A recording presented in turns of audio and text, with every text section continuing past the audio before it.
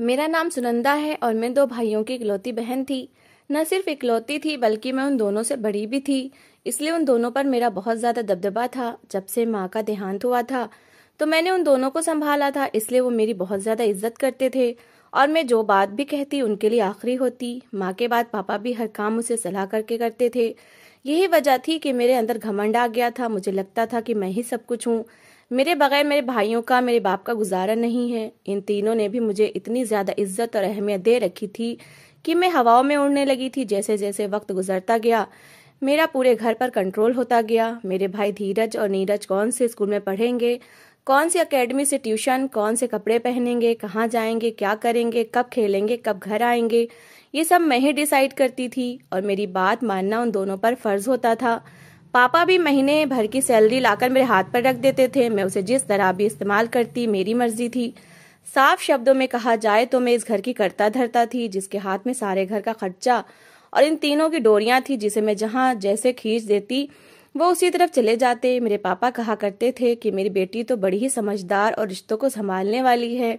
जैसे जैसे वक्त गुजरता गया, मेरे अंदर घमंड आता गया, मैं न सिर्फ़ अपने घर में बल्कि बाहर भी लोगों पर रौब जमाने लगी। पूरे परिवार के लोग मुझसे बात करने से पहले सौ बार सोचते थे, मेरी पर्सनालिटी ही कुछ ऐसी बन गई थी। मेरे भाइयों और मेरी उम्र में कोई ज़्यादा इतना फ़र्क नहीं था, लेकिन जब माँ मर जाए तो बड़ी बहन माँ की जगह हो जाती है, इसलिए वो मुझे अपना सब कुछ मानते थे। मैं जब 24 साल की हुई तो मेरे पापा ने मेरी शादी करने का फैसला किया, लेकिन मैंने साफ़ शब्दों में पापा से कह दिया कि जब तक मैं अपने दोनों भाइयों की शादियाँ नहीं करवा देती, मैं शादी नहीं करूँगी। पापा ने मेरे लिए एक दो रिश्ते देखे भी देखे भी थे, क्योंकि वो बाप थे और परेशान होते थे कि अगर मेरी उम्र निकल गई तो मुझे कोई रिश्ता नहीं मिलेगा। लेकिन मुझे इस चीज़ की कोई भी चिंता नहीं थी। मैं पहले अपने भाइयों की शादी करवाना चाहती थी और वो भी अपनी मर्ज़ी से। मैं नहीं चाहती थी कि मेरे भाई अपनी मर्ज़ी से कोई लड़की इस घर में लाएँ। इसलिए जब दोनों का यूनिवर्सिटी में एडमिशन करवाया तो मैंने साफ़ शब्दों में कह दिया कि यूनिवर्सिटी सिर्फ़ पढ़ने जाना है, रिश्ता मैं तुम लोगों के लिए खुद देखूँगी। इसलिए किसी लड़की को पसंद करने की गलती मत करना। मुझे अपने भाइयों पर बहुत ज़्यादा भरोसा था कि वो मेरी बात को बिल्कुल नहीं टालेंगे और हुआ भी ऐसा ही था।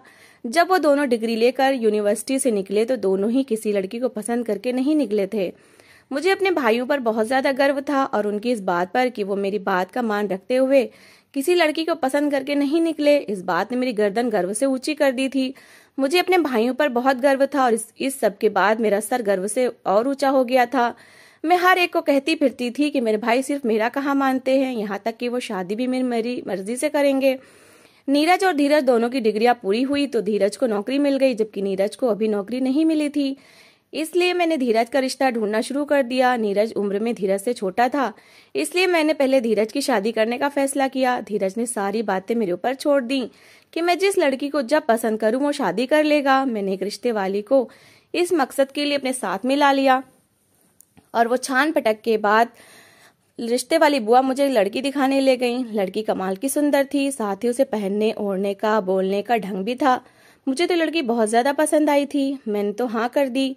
मेरे कहने पर धीरज वक्त निकालकर जाकर लड़की को देख आया था और मेरी मर्ज़ी के आगे सर झुका दिया था। मैं बहुत ज़्यादा खुश थी और फ़ौरन शादी की तारीख दे दी। शादी मैंने बहुत धूमधाम से की थी। उसकी शादी के बाद मैं चाहती थी कि जिस तरह दोनों भाई मेरी आज्ञा का पालन करते हैं, इसी तरह इनकी पत्नियाँ भी जो आए, वो भी मेरी आज्ञा का पालन करे और मेरी हर बात को आखिरी समझे। मैं हुक्म जमाने और मलका बनकर रहने की आदि हो, आदि सी हो गई थी। इसलिए तो मैंने दोनों भाइयों को कहा था कि उनके लिए लड़की मैं पसंद से लाऊँगी। क्योंकि अगर वो दोनों अपनी पसंद से अपनी पत्नियाँ लाते तो इस घर में मेरी हैसियत बिल्कुल ज़ीरो हो जाती। और मेरी हुकूमत खत्म हो जाती, जो मैं, जो कि मैं कभी नहीं चाहती थी। मैं चाहती थी कि जिस तरह मेरे दोनों भाई मेरा कहा मानते हैं, उनकी पत्नियाँ भी उसी तरह रहें। इसलिए मैंने अपनी पसंद से धीरज की शादी करवाई, ऐसी लड़की से जो शक्ल से ही मासूम लगती थी। क्योंकि मैं उसे दबाकर रखना चाहती थी, लेकिन शादी के कुछ दिन बाद मैंने महसूस करना शुरू कर दिया कि धीरज मुझ पर अपनी पत्नी को महत्व देने लगा था। वो उससे ऐसे पेश आता जैसे वो उसकी मनपसंद पत्नी हो। मैं तो इसलिए अपनी पसंद से लड़की लाई थी कि धीरज ज़्यादा उसके आगे पीछे नहीं फिरे। लेकिन यहाँ तो सब कुछ मेरी सोच के उलट हो रहा था और धीरे धीरे तो ऐसा हुआ कि वो दोनों बाहर जाते हुए मुझसे पूछना तक गवारा नहीं करते थे और ना ही मुझसे पूछते थे। ये सब देखकर मैं कुड़कर रह गई। वो भाई जिन्हें मैंने माँ बनकर पाला था, जिनके लिए मैंने मुँह से निकली हुई आखिरी बात होती थी, वो अब मुझे कोई अहमियत नहीं दे रहे थे। ये मेरे लिए बहुत तकलीफ़ भरा था। फिर मुझे एक ऐसी बात पता चली जिसने मेरे पैरों तले से ज़मीन निकाल दी। मैं कभी सोच भी नहीं सकती थी कि मेरे भाई मेरे साथ इतना बड़ा धोखा भी कर सकते हैं। वो फैसला जिसको मैं अपना फैसला समझ रही थी, वो दरअसल मेरा फैसला था ही नहीं, बल्कि मेरे दोनों भाइयों ने मिलकर ऐसा प्लान बनाया और ऐसा खेल खेला कि मैं उनकी मर्ज़ी के मुताबिक चलती चली गई। आज तक मुझे ऐसा लगता आया था कि मैं अपने भाइयों की ज़िंदगी का हर फैसला खुद करती हूँ, लेकिन ये मेरी ही सोच निकली। क्योंकि धीरज की ज़िंदगी का इतना बड़ा फैसला मैंने नहीं, बल्कि खुद उसने अपनी मर्ज़ी से किया था। बस खेल इस तरह से खेला कि मुझे लगा कि जीत मेरी हो रही है। एक दिन मैं धीरज की पत्नी तानिया के कमरे में उसकी गैर मौजूदगी में गई तो अलमारी से मुझे तानिया की डिग्री मिली और ये देखकर मेरे पैरों तले से ज़मीन निकल गई कि तानिया ने डिग्री धीरज के साथ उसकी यूनिवर्सिटी से उसके डिपार्टमेंट से पूरी की थी। यानी कि ये दोनों पहले से एक दूसरे को जानते थे, लेकिन मेरे सामने अनजान बन रहे थे। जब मैंने नीरज को अपनी कसम दी तो वो सब बोलता चला गया और नीरज ने मुझे बताया कि तानिया धीरज की क्लास फेलो थी वो दोनों एक दूसरे को पसंद करने लगे थे। लेकिन धीरज अच्छे से जानता था कि आप इस रिश, रिश, आप इस रिश्ते के लिए नहीं मानेंगी क्योंकि आप, आप पसंद की शादी के हक में नहीं थी। इसलिए धीरज ने यह सब करने का फैसला किया। उसने रिश्ता करवाने वाली बुआ को पैसे दिए जिसके बदले बुआ आपको तानिया भाभी के घर ले गई। तानिया भाभी की उसने इतनी तारीफें की आपके सामने कि आप इस आप इस रिश्ते के लिए मान गई और यूँ तानिया भाभी और धीरज की शादी हो गई। तानिया पहले से धीरज की पसंद थी, ये जानकर मेरा दिमाग फटने लगा था। धीरज को जब पता चला कि मुझे उसके खेल के बारे में पता चल चुका है तो उसने मुझसे माफिया, बहुत माफिया मांगी कि उसने बहुत मजबूरी में ये सब कुछ किया था, क्योंकि वो तानिया से बहुत ज़्यादा मोहब्बत करता था। उसके बगैर नहीं रह सकता था, और ना ही वो मुझे नाराज़ करना चाहता था। मुझे तानिया और धीरज पर बहुत ज़्यादा गुस्सा तो था, लेकिन अब तो शादी हो चुकी थी। अब मैं कर तो कुछ नहीं सकती थी, इसलिए मैंने तानिया को धीरज के सामने मुस्कुराकर एक्सेप्ट तो कर लिया था। लेकिन मेरा दिल जानता था कि मुझे इस लड़की से कितनी ज़्यादा नफरत हो गई थी, क्योंकि मुझे लगता था कि इसके आने की वजह से मेरे इस घर में कदर अहमियत कम हो गई है। मेरा और तानिया का रिश्ता ऐसा हो चुका था जैसे कोई सास बहू का रिश्ता हो। धीरज के सामने तो मैं तानिया से बहुत अच्छे से पेश आती थी, लेकिन धीरज के पीछे मैं उसे सुनाने का कोई मौका हाथ से जाने नहीं देती थी।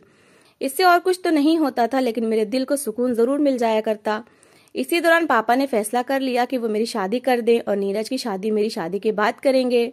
मैंने लाख मना करने की कोशिश की, लेकिन इस बार पापा अपने फैसले पर डट गए, क्योंकि मेरी उम्र 26 साल हो गई थी। पापा इससे ज़्यादा देर नहीं करना चाहते थे। मेरी शादी के बारे में वो कहते थे कि ज़िंदगी का कोई भरोसा नहीं।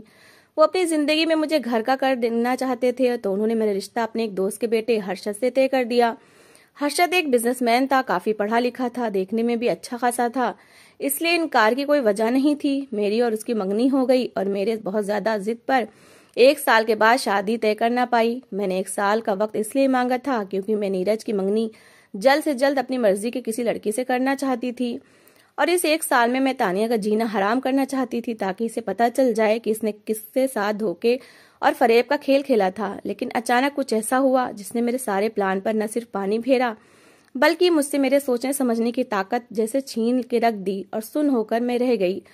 और दिमाग बहुत सदमे में चला गया क्योंकि गम ही कुछ ऐसा मिला था जिसे बर्दाश्त करना मेरे बस की बात नहीं थी।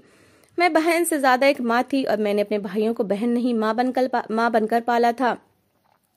और उनके दुख पर मेरा दिल कटकर रह जाता था। जब मेरा भाई धीरज इस दुनिया से चला गया तो मेरा दिमाग सुन होकर रह गया। उस दिन मामूल की तरह मैं घर पर ही थी, तानिया किचन में खाना बना रही थी, मैं नमक मिर्च चखते हुए उसे सौ सौ बातें सुना रही थी, जो वो चुपचाप सुनती जा रही थी। नीरज की भी नौकरी लग गई थी, वो अपने ऑफ़िस गया हुआ था। पापा की रिटायरमेंट के बाद पापा को धीरज और नीरज ने बिज़ी रखने के लिए किराने की दुकान खुलवा दी थी। पापा उस पर सारा दिन बैठे होते थे, मैं बेचैनी से धीरज और नीरज का इंतज़ार कर रही थी, क्योंकि जब तक वो लोग घर नहीं आ जाते थे, आ जाते थे, मेरे दिल को सुकून नहीं मिलता था। अभी थोड़ी देर गुजरी थी कि मेरा फ़ोन बजा, मुझे नीरज की नीरज ने कॉल की थी। जब मैंने कॉल उठाई तो उसने जो बात बताई मेरा सर पर आसमान ही जैसे आ गिरा हो। नीरज ने बताया कि धीरज ऑफ़िस से वापस घर आ रहा था। उसकी बाइक एक बड़ी गाड़ी से टकरा गई, जिसके नतीजे में धीरज वहीं दम तोड़ गया। अभी नीरज धीरज की लाश लेकर घर आ रहा था। मेरे हाथ से फ़ोन नीचे गिर चुका था और ज़ुबान बिल्कुल चुप हो गई थी। थोड़ी ही देर में हमारा घर शोक सभा बन चुका था। धीरज की अर्थी लाकर आँगन में रखी गई तो हर तरफ़ चीखो पुकार होने लगी। मैं चुपचाप सबको देखे जा रही थी। तानिया चिल्लाते हुए पलट पलट कर धीरज की अर्थी के पास जा रही थी। पापा और नीरज फूट फूट कर रो रहे थे। हमने कभी सोचा भी नहीं था कि हम पर ऐसा वक्त भी आएगा। मैंने जिस भाई को अपनी औलाद की तरह पाला था, आज वो मुर्दा हालत में मेरे सामने पड़ा था। मेरे लिए इससे बड़ा गम क्या हो सकता था? धीरज का अंतिम संस्कार कर दिया गया। उसकी मौत के बाद कई दिनों तक मैं सदमे में रही और जब मेरा सदमा टूटा तो मैं इतना चीख चीख कर रो रही थी कि घर सर पर उठा लिया। मुझे बहुत मुश्किल से नीरज ने बेहोशी का इंजेक्शन देकर संभाला था। मैं पूरी तरह से होश में आई तो देखा कि तानिया के माँ बाप उसे लेने आए हैं। उसके माँ बाप का कहना था कि धीरज तो अब मर चुका है और अब कोई वजह नहीं बनती तानिया के यहाँ रहने की। लेकिन मैं तानिया को इतनी आसानी से यहाँ से जाने नहीं दे सकती थी। वो जिसकी वजह से आई थी, वो मर चुका था, हमेशा के लिए जा चुका था। तो तानिया क्यों यहाँ से जाकर किसी और के साथ शादी करके खुश रहती? मैं उसे सारी ज़िंदगी यहीं रखना चाहती थी ताकि वो यहीं पर अपनी गलती पर सड़ती रहे और हमेशा धीरज को याद करती रहे। मैंने हमेशा की तरह अपना फैसला सुना दिया कि तानिया कहीं नहीं जाएगी। वो मेरे भाई की पत्नी थी और अभी भी मेरे भाई की पत्नी बनकर इस घर में रहेगी। बस फ़र्क सिर्फ़ ये है कि पहले वो धीरज की पत्नी थी, अब इसे नीरज की पत्नी बना दिया जाएगा। पापा और तानिया के माँ पापा को मेरे इस फैसले से कोई एतराज़ नहीं था, लेकिन नीरज और तानिया को बहुत ज़्यादा एतराज़ था। तानिया ने साफ़ इनकार कर दिया कि वो किसी से शादी नहीं करना चाहती और नीरज भी किसी तरह तानिया से शादी नहीं करना चाहता था। लेकिन मेरे कहने पर वो मान गया था। तानिया को भी उसके माँ बाप ने बना लिया। यूँ तानिया की शादी नीरज से हो गई। तानिया और नीरज की शादी करवाने के पीछे मेरा मकसद यही था कि नीरज भी मैं धीरज की तरह अपनी पसंद की लड़की ना लाकर मेरे सर पर सवार कर दे। और तानिया को नीरज की पत्नी बनकर मैं घुट घुट कर जीते और मरते देखकर मुझे अंदर से सुकून मिल रहा था। कुछ समय के बाद मेरी भी शादी हो गई तो मैं अपने घर विदा होकर आ गई। मेरा पति बहुत अच्छा और बहुत सुलझा हुआ इंसान था। मैं अक्सर उससे बदतमीजी कर जाती, लेकिन वो मेरी बदतमीजियों को भी बड़े आराम से झेलता था और मुझे मेरे सारे हक दिए थे। मैं जिस तरह अपने बाप के घर में राज करती थी, उसी तरह मैं इस घर में भी करती थी। हर्षद की माँ तो काफ़ी समय पहले ही मर चुकी थी, सिर्फ़ एक बाप था।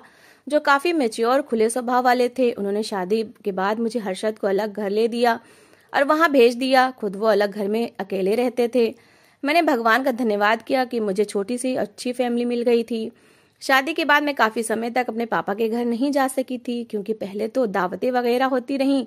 फिर मैं और हर्षद घूमने के लिए सिंगापुर चले गए। जब मैं वापस आई तो वक्त निकाल कर मैं पापा के घर जाने का फैसला करने लगी, क्योंकि मैं तानिया को रोते हुए देखना चाहती थी। उसे रोते हुए देखकर मुझे बहुत खुशी महसूस होती थी, लेकिन जब मैं पापा के घर पहुँची तो ये देखकर मेरी आँखें फटी की फटी रह गईं कि जिस तानिया को मैं रोता धोता छोड़ कर गई थी, अब वो तो बड़े इतमान में लग रही थी और एक दिन पापा के घर रहने के बाद मुझे अंदाज़ा हो गया कि वो और नीरज एक दूसरे के रिश्ते को एक्सेप्ट कर चुके हैं और एक दूसरे के साथ अब काफ़ी खुश नज़र आ रहे हैं। ये देखकर मुझे बहुत गुस्सा आया, मैं बिल्कुल भी ये उम्मीद नहीं कर रही थी कि नीरज एक विधवा के साथ अपनी ज़िंदगी में आगे बढ़ जाएगा। मैंने उसी दिन फैसला कर लिया कि मैं तानिया को नीरज के साथ खुश नहीं रहने दूँगी। किसी भी औरत को उसके मर्द की ज़िंदगी से निकालना कोई मुश्किल काम नहीं था। मर्द के दिल में एक शक का बीज बो दो, इसके बाद सब कुछ आसान हो जाता है। मैंने बातों बातों में नीरज के कानों में ये बात डाल दी कि तानिया के नंबर पर बार बार किसी की कॉल्स आ रही हैं, जो देखकर तानिया घबरा जाती है। नीरज मर्द था, दिल में थोड़ा सा शक तो आ ही सकता था, और फिर जब मैं पापा के घर से जाने लगी तो मैंने एक पड़ोसी लड़के को कुछ पैसे देकर उसे अपने खेल में शामिल कर लिया। जिस दिन मैं पापा के घर से वापस आई तो अगले ही दिन मुझे पापा की कॉल आई। वो बहुत ज़्यादा परेशान थे, और जब पापा ने बताया कि तो मेरी खुशी का कोई ठिकाना न रहा, पापा ने मुझे बताया कि रात को तानिया और नीरज की बहुत ज़्यादा लड़ाई हुई है, और लड़ाई यहाँ तक जा पहुँची कि नीरज ने खड़े खड़े तानिया को घर से निकलने की और तलाक की धमकी दी। सुबह ही सुबह तानिया के माँ बाप आए और उसे अपने साथ ले गए और नीरज ने तानिया को तलाक के पेपर्स भेज दिए हैं। तानिया का ये अंजाम होता देखकर मैं बहुत ज़्यादा खुश हुई क्योंकि ये मेर, सब मेरा प्लान था। मैंने मैंने ही आते हुए पड़ोस के लड़के को पैसे देकर शाम के वक्त जब तानिया आँगन में होती है तब लेटर फेंकने के लिए कहा था क्योंकि उसी वक्त नीरज भी आता था। मुझे पता था कि वो ले, लेटर नीरज के हाथ लग जाएगा और फिर उसे मेरी बात ज़रूर याद आएगी। मर्द था उसके दिल में जो शक का बीज मैंने बोया था, वो एक पल में पेड़ बन गया था और यूँ उसका और तानिया का रिश्ता खत्म हो गया। मैं झूठी तसल्ली देने नीरज के पास गई थी और उससे कहा था कि मैं तानिया से अच्छी लड़की उसके लिए ढूंढ कर लाऊँगी। नीरज बहुत ज़्यादा डिस्टर्ब लग रहा था, लेकिन मैं अपनी खुशी में उसकी परेशानी भूल चुकी थी। कुछ दिनों के बाद पापा को दिल का दौरा पड़ा और वो दुनिया से चले गए। पापा के जाने के बाद नीरज बिल्कुल अकेला रह गया। मैंने उसके लिए एक रिश्ता ढूंढा और नीरज की शादी करने का फैसला किया। लेकिन नीरज ने साफ़ मना कर दिया और मुझे बिना बताए वो इंडिया छोड़कर चला गया, क्योंकि वो जानता था कि मैं ज़बरदस्ती उसकी शादी करवा दूँगी। नीरज के इस तरह से चले जाने पर मैं उसे नाराज़ हो गई और उसके साथ हमेशा के लिए रिश्ते खत्म कर दिया, क्योंकि मुझे लगता था कि मैंने अपने भाइयों के लिए बहुत ज़्यादा कुर्बानियाँ दी हैं और वो मेरी छोटी छोटी बातें नहीं मान सकते। मैं खुद को बहुत पीड़ित समझती थी। नीरज चला गया तो मैंने अपने घर पर ध्यान देना शुरू कर दिया। वक्त पर लगाकर उड़ता चला गया। मेरी शादी को पाँच साल का वक्त गुजर गया। लेकिन मेरे यहाँ कोई भी औलाद नहीं हुई। अब मैं हर वक्त इस चीज़ को लेकर परेशान रहने लगी, क्योंकि मैं जानती थी कि हर्षद के अंदर बाप बनने की तड़प दिन ब दिन बढ़ती जा रही है। वो बच्चों को देखता तो इमोशनल हो जाता था। वो चाहता था कि उसके भी बच्चे हों, लेकिन जाने क्यों भगवान मेरी गोद नहीं भर रहा था। मैंने बहुत से डॉक्टर्स को दिखाया, लेकिन सबका यही कहना था कि मैं माँ नहीं बन सकती। हर्षद ने तो मेरे बांझपन के साथ समझौता कर लिया था, लेकिन वो बहुत ज़्यादा परेशान लग रहता था। बिज़नेस पर भी ध्यान नहीं दे पा रहा था, इसलिए मैंने एक बहुत बड़ा फैसला किया। ऐसा फैसला जो कोई भी औरत करते हुए काप उठती है। मैंने फैसला किया कि मैं हर्षद की दूसरी शादी करवा दूँगी, जिससे उसे बच्चा होगा। मेरा प्लान ये था कि मैं किसी भी आई गई लड़की से हर्षद की शादी करवा दूँगी, और जैसे ही बच्चा होगा, मैं बच्चा लेकर उस लड़की को घर से निकाल दूँगी। फिर मैं और हर्षद और हमारा बच्चा एक साथ रहेंगे। इस मकसद के लिए मैंने कोई ऐसी लड़की ढूंढनी शुरू कर दी जिसकी शक्ल सूरत बिल्कुल भी अच्छी ना हो। क्योंकि अगर मैं किसी सुंदर लड़की से हर्षद की शादी करवाती तो कोई भरोसा नहीं था। वो हर्षद को अपने काबू में कर लेती, फिर मेरे पास कुछ भी न बचता। मैंने हर्षद को अपने इस फैसले के बारे में बता दिया कि मैं उसकी शादी करवाना चाहती हूँ और उसके लिए लड़की ढूंढ रही हूँ। पहले तो उसने मना कर दिया, लेकिन मेरी जिद पर वो मान गया। मेरे ससुर के घर में एक औरत काम करती थी। वो सालों से मेरे ससुर के घर में अपने पति और बच्चों के साथ रहती थी। जब मैंने उसे ज़िक्र किया तो उसने कहा कि उसे एक लड़की का पता है जो शक्ल सूरत से बहुत बदसूरत है और कोई भी उसे शादी करने को तैयार नहीं। मैं उसे इस काम के लिए अपने साथ ला सकती हूँ। मैं उसी दिन काम वाली मासी के साथ उसके गाँव गई, जहाँ एक झोपड़ी में फटे पुराने कपड़ों में एक काली और बदसूरत लड़की बैठी हुई थी, जिसे देखकर ही उल्टी आने लगी थी। वो लड़की बिल्कुल सही थी मेरे प्लान के लिए। मैं उसे अपने साथ ले आई। उसकी शादी में मैंने हर्षद से करवा दी। हर्षद हैरानी से मुझे देख रहा था कि मैं कैसा अजूबा उसके लिए उठा कर लाई हूँ। लेकिन अगर मैं इतनी बदसूरत लड़की न लाती तो मेरा पता साफ़ हो सकता था। लेकिन शादी के दो दिन बाद मुझे ऐसा लगा जैसे मेरे प्लान पर पानी फिर गया है। क्योंकि वो काली कलूटी बसूरत लड़की जिसे देखकर उल्टी आती थी, शादी के बाद उसके रंग ढंगी बदल गए थे, वो अच्छे कपड़े पहनने लगी इतरा इतना इतरा कर पूरे घर में फिरती। मैंने देखा हर्षद उसके आगे पीछे फिरने लगा। हर वक्त वो उसके साथ चिपका रहता। मैं बिल्कुल भी बर्दाश्त नहीं कर सकती थी और मैं हैरान थी कि इतनी बसूरत लड़की मैं हर्षद को आखिर दिक्का किया। मैं कभी ये सोच भी नहीं सकती थी कि हर्षद को मैं किसी और को सौंप दूँ। इसलिए मैंने उस लड़की को, जिसका नाम काजल था, मैंने उसे डराने, धमकाने की कोशिश की, लेकिन वो बिल्कुल नहीं डरती थी। मेरी एक बात के जवाब में सौ सौ बातें कह जाती। मैं ये सब कैसे बर्दाश्त कर सकती थी? मैंने एक दिन गुस्से में आकर उसे थप्पड़ मार दिया तो हर्षद आग बबूला हो गया। हर्षद के रवैये की वजह से मैं बहुत ज़्यादा परेशान रहने लगी थी। मैं जानना चाहती थी कि इस लड़की ने ऐसा कौन सा जादू किया है जो हर्षद को उसके सिवा कोई और नज़र ही नहीं आता। ये सब जानने के लिए एक रात हर्षद के आने से पहले मैं हर्षद और उस लड़की के का, काजल के कमरे में छुप गई ताकि मैं सच्चाई जान सकूँ। हर्षद और काजल दोनों डिनर के लिए बाहर गए हुए थे। जब वो दोनों वापस आए तो हर्षद ने प्यार से कहा जाओ मुँह धो लो। तुम भी इस रंग से तंग आ गई होगी। मैं इस बात को समझी नहीं थी लेकिन अगले ही पल मेरी आँखें फटी की फटी रह गईं और धड़कने जैसे रुक गईं और आँखें, आँखों के सामने अंधेरा छाने लगा। क्योंकि काजल जब मुँह धोकर वॉशरूम से बाहर निकली तो वो काजल नहीं बल्कि तानिया थी। वो लड़की जिसे मैं काली कलूटी बदसूरत समझकर हर्षद के लिए ब्याह कर लाई थी, वो काजल बिल्कुल नहीं थी। बल्कि वो तो तानिया थी जिसने अपने मुँह पर स्याही मल कर मुझे धोखा दिया था। वो एक बार फिर मुझे धोखा देने में कामयाब हो गई। मैं जो पर्दे के पीछे छुपिए सब देख रही थी मेरी बर्दाश्त जवाब दे गई। मैं फ़ौरन सामने आई और तानिया को गर्दन से पकड़ लिया। लेकिन हर्षद ने फ़ौरन उससे मुझे खींच कर अलग किया और एक जोरदार थप्पड़ मेरे मुँह पर दे मारा। मैं हक्का बक्का हर्षद को देखने लगी, जो इस तानिया का साथ दे रहा था, जबकि वो अच्छे से जानता था कि पास्ट में मेरा तानिया से क्या रिश्ता था। मैंने कुछ कहने के लिए मुँह खोला ही, मुँह खोला ही था कि हर्षद ने मेरा हाथ पकड़कर मुझे पहले कमरे और फिर घर से बाहर निकाल दिया। उसने न सिर्फ़ मुझे धक्के देकर घर से निकाला था, बल्कि मुझे उसी पल तलाक के पेपर्स भी पकड़ा दिए। मेरे हवास जवाब देने लगे। मैंने देखा तानिया सीने पर हाथ बांधे खड़ी, मुस्कुराकर मेरी बर्बादी का दृश्य देख रही थी। मुझे तलाक के पेपर्स देते हुए वक्त हर्षद ने बताया कि जब मैं उसके लिए कोई बसूर लड़की ढूंढ रही थी, शादी करवाने के लिए तो तानिया हर्षद के पास आई थी। हर्षद को मेरा असली और गंदा चेहरा दिखाया था कि किस तरह मैंने अपनी ईगो में आकर तानिया को बर्बाद कर दिया। हर्षद ने पहले तो तानिया की बात का यकीन नहीं किया, मगर जब तानिया ने सबूत के साथ बात की तो उसे मुझसे नफरत हो गई। वो मुझसे उसी दिन मुझे उसी दिन छोड़ देना चाहता था। लेकिन फिर तानिया के कहने पर वो तानिया के प्लान का हिस्सा बन गया। तानिया मुझे बर्बाद होते हुए और तड़पते हुए देखना चाहती थी।